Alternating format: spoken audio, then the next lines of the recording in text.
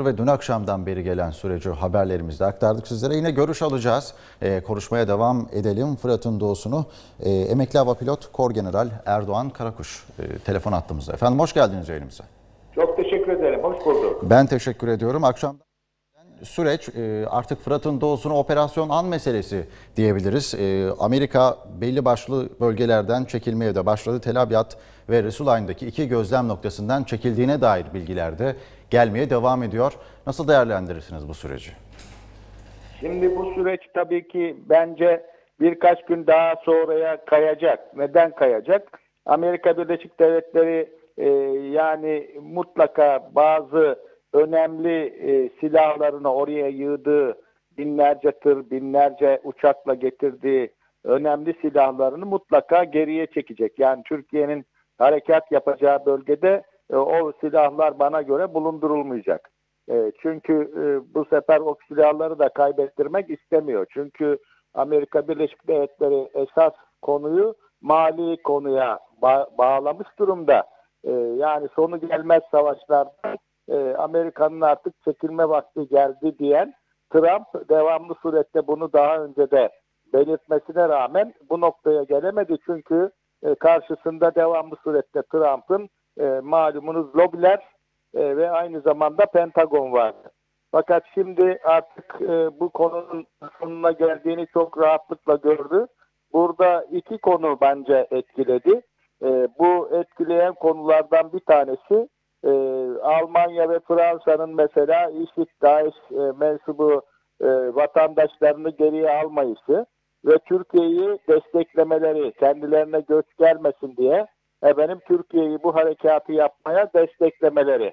Bütün neredeyse AB ülkeleri ve onun dışında kalan, AB'nin dışında kalan ülkeler e, göçten korkmaları nedeniyle e, Türkiye'nin bu harekatı yapmasını ve Türkiye'nin de zaten bu konuda e, beyanatta bulunması, efendim Birleşmiş Milletler'e de sunması, e, Türkiye'nin Fırat'ın doğusunda yapacağı illeri belirtmesi, ilçeleri belirtmesi, köyleri belirtmesi, yapacağı konut miktarını belirtmesi ve 2 milyon kişinin de Türkiye'den buraya göçe, göçeceğini belirtmesi tabii bu konuda etkili oldu. Amerika Birleşik Devletleri buna da mani olunca yani sanki göçü destekliyor konumuna adım bence e, Amerika Birleşik Devletleri çok etkiledi.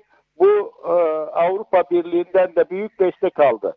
E, daha önceki yıllarda ben televizyonda bunlara izah etmiştim. Demiştim ki Amerika Birleşik Devletleri son işte 26-27 yılda efendim 25 milyar dolar gibi bir para harcadı.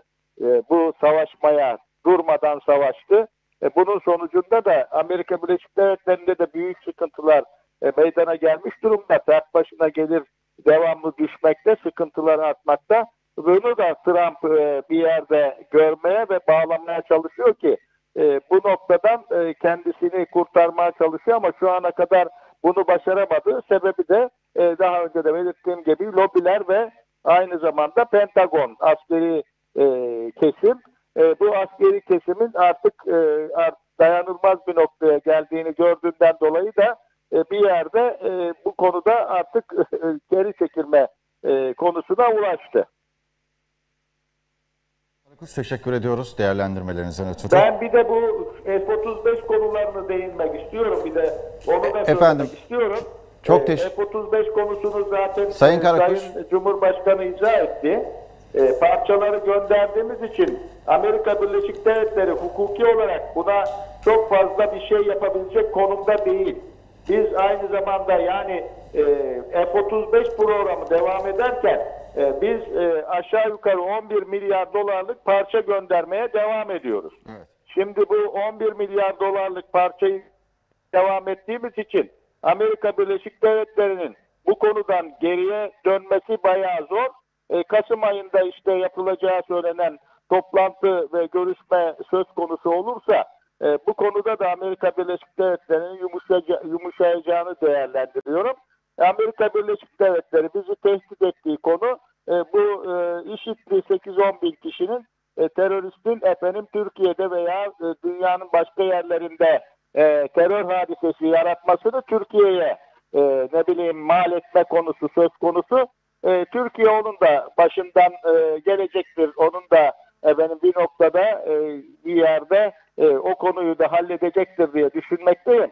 Şimdi en önemli konu e, bu e, özellikle PKK-PYD e, ileriye sürdükleri, ileriye sürdükleri kuvvetleri e, devamlı surette efendim elden çıkarmak istediği PKK'lıklar olacaktır. Lider konumundaki, önder konumundakileri geride bulunduracaklardır ve onların e, bir yerde yok olmasına e, mani olacaklardır. Aynı Afrin'de yaptıkları gibi çünkü Afrin'de de belirli bir zaman e, işte, e, kendi e, gözlerinden çıkardıkları işte belki o dağlara kaçırdıkları efendim işte gariban çocuklarını ileriye sürecekler ve onların bir yerde efendim e, imha edilmelerine sebep olacaklar. E, bu konu üzerinde de dikkatli olunması lazım. Türk Silahlı Kuvvetleri önce harekatı tabii ki hava gücüyle başlatacak. Hava gücüyle bütün bu barınakları, sığınakları ve her türlü e, efendim bilinen, görülen her şeyi efendim imha ettikten sonra e, kara gücü devreye sokulacak ki zayiat az verilsin. E, inşallah e, başarılı bir harekatla sonuca ulaşacağız diye değerlendiriyorum. Efendim çok de- teşekkür ediyoruz değerlendirmelerinizden ötürü. Emekli Hava Pilot Kor General Erdoğan Karakuş'la değerlendirdik. Değerli izleyenler Fırat'ın doğusuna operasyonu ve değerlendirmeye devam ediyoruz yine. Stüdyo konuğumuz var. E, Vatan Partisi yöneticisi